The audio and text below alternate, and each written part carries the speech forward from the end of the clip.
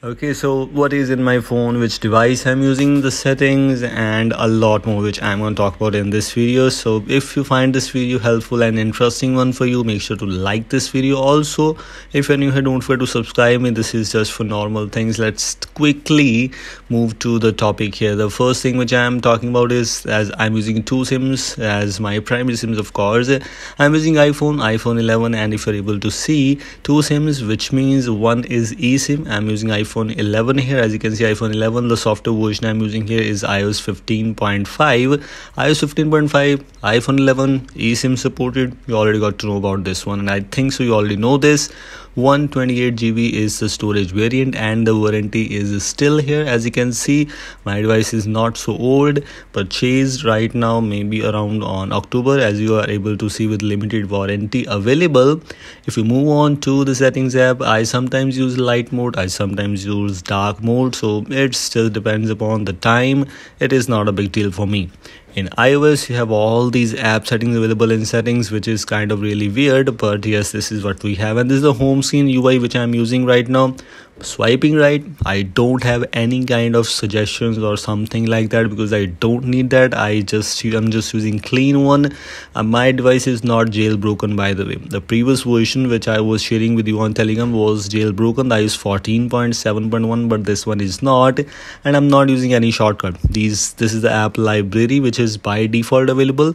And if you take a look at the recently added apps which i have a lot of apps i am using on my device. I've installed a lot of apps including banking apps, some few of the social media apps too, like WhatsApp and Telegram. Of course, it's for just my work purposes, and Instagram, Twitter kind of things are already there.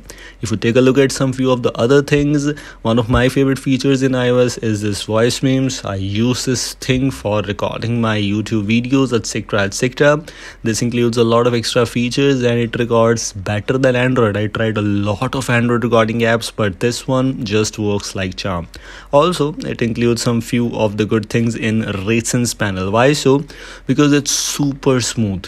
The gestures I've used so far in any of the Android phones was not that great, honestly, but with this multitasking which we have in this iPhone is just unbelievable. As I'm using my device from approximately till now as June is going on, so approximately 10 months idea, and yes, this is something really good. Approximately 9 to 10 months.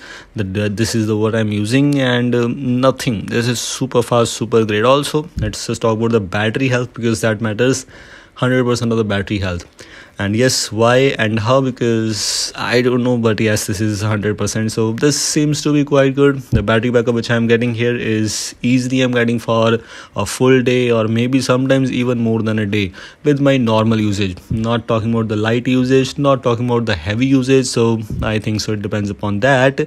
And yes this is my battery graph. If you're able to see battery level and activity my screen on time you all if you are able to see this is what we have with the last 24 hours. Approximately more than 5 hours of screen time. Sometimes i can easily move on much.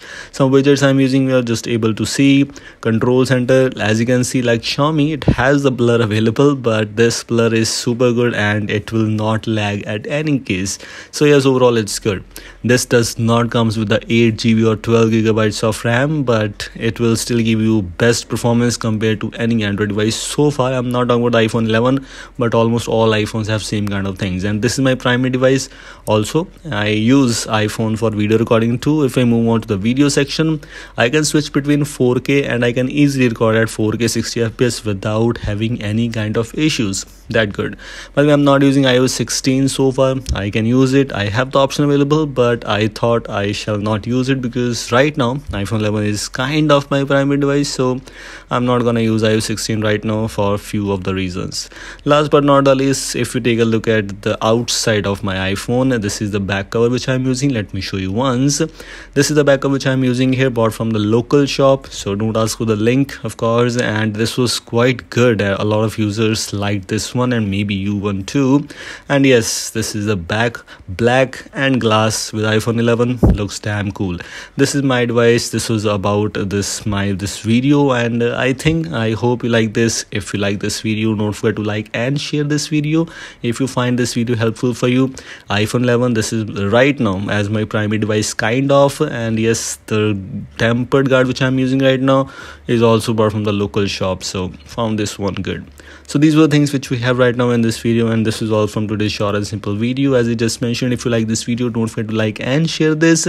If you want to don't forget to subscribe the channel. As i'll see you in the next video. Until then goodbye